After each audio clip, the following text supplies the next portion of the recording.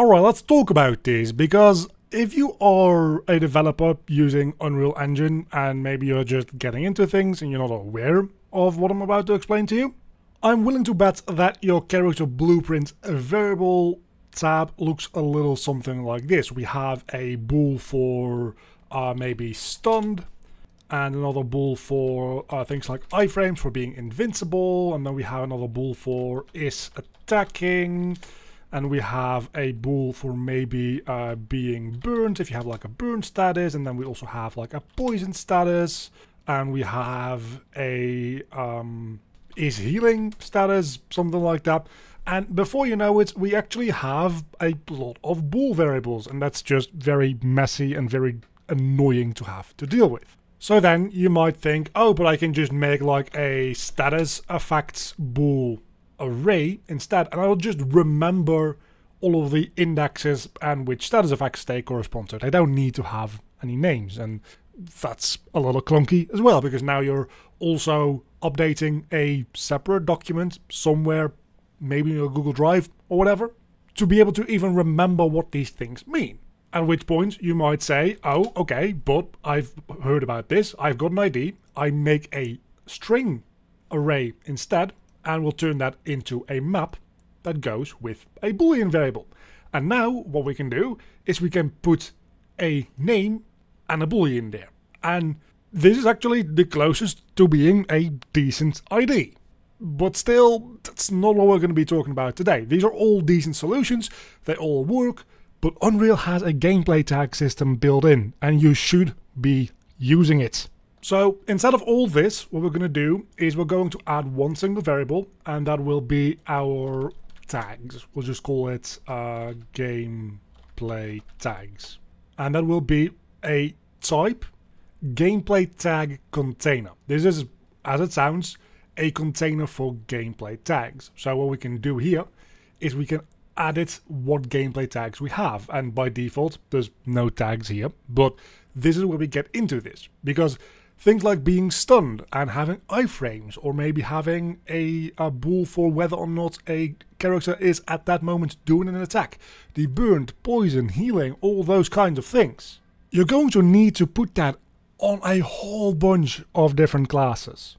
Your enemies are probably going to need very similar things you might want to also like have a certain destructible object that you can set on fire or something like that.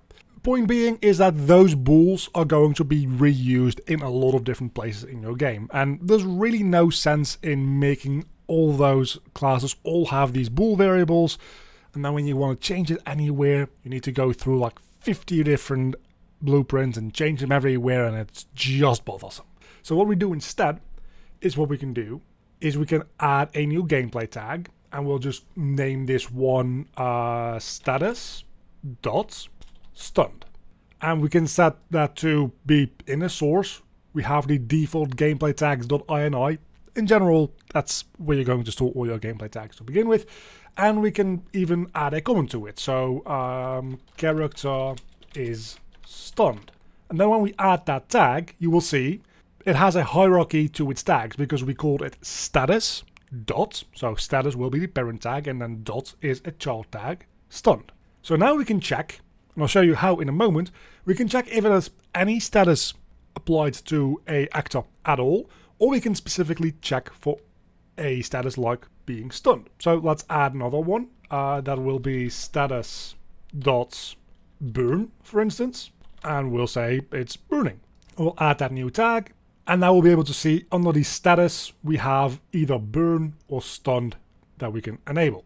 Uh, you can also simply uh, click this plus sign over here to add a subtag, which will just add the status dot for you. And we can say we also want to add poison, depletes health. And we'll add that new tag.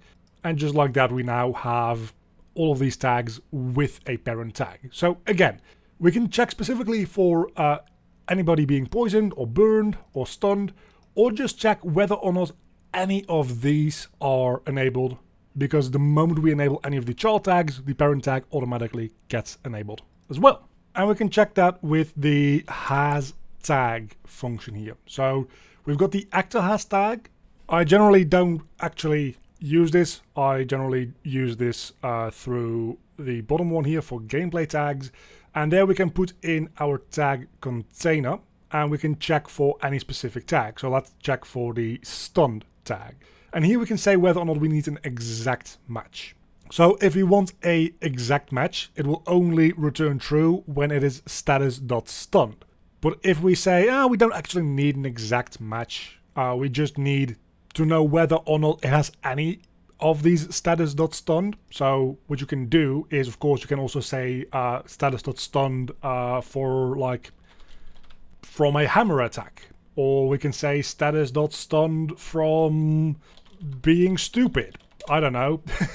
And at this point, if we just want to check status.stunned, and it doesn't matter what we do, we don't want the exact match. We just want to know is it stunned at all. If any of these child tags are enabled, uh, that's fine. That does mean that we're just stunned.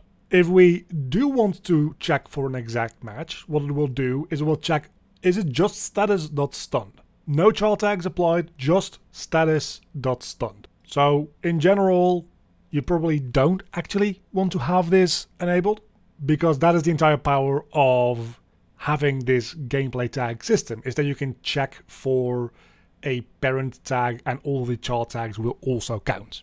So just for the uh, purpose of this example, what I'm going to be doing is I'm going to just check on every frame whether status.stunned is enabled and we're not going to be looking for an exact match because I don't really care about any of that. And then we're going to be printing the result of that. And let's just make a quick uh, debug key F, which will go into a flip-flop and that will then turn on and turn off that gameplay tag. So the way we do that is with the gameplay tag reference as well. And there we can just simply add a gameplay tag. And here we can say uh, we want to add status.stunned. And you might be surprised, probably not, but we can also remove gameplay tags in much the same way. So we're going to remove status.stunned on the B. If you're not familiar with the flip-flop, what it does is first time you go through, it goes through there, and then when you go through it again, it does this one, and then when you go through it again, it does the first one again, and over and over and over again. So we can see it's now printing out false. When I press F, it starts printing out true because I now have that gameplay tag. And then when I press F again, it starts printing out false again because I don't have that gameplay tag anymore. Now, the wonderful thing is if I make any other actor in my game, so let's just say uh, we make a uh, test actor here. And in this test actor, I add another gameplay tags container. These gameplay tags are stored in the default gameplay tag.ini, which is just an engine file, right? So they are available throughout the entire project, which is absolutely fantastic. You can also make separate INI files for separate reasons. If you want to separate the different gameplay tags from different files, you can do that.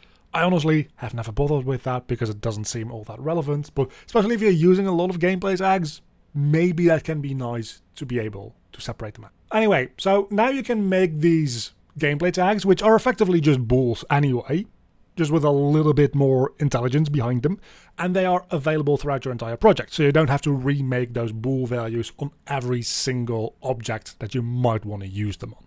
And to easily get the gameplay tag containers on other actors, uh, what you can easily do is you can make a blueprint interface here, and we'll call that um, BPI get tags, something like that just in this new function, we're going to add in a output that will be our tag container, which will be of type gameplay tag container.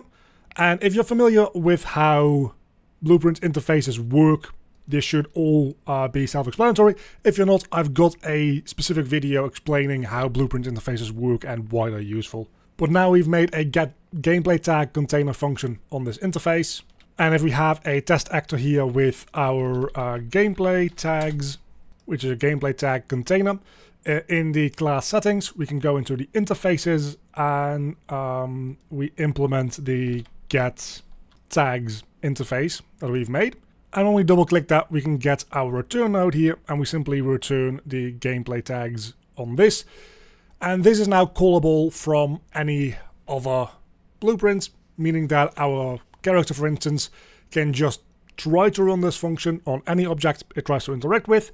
If it does have this interface, it will uh, get back the gameplay tag container. Again, if you want to know more about Blueprint interfaces and how to use them, it works really well together with something like this, go check out my video specifically on Blueprint interfaces. And a very big thank you to all of my Patreons. You can see them on screen right now. If you want to help out supporting the channel, there's a link down below in the description to the Patreon page. And a special thanks to my Cave Digger tier Patreons, Sergey Thomas,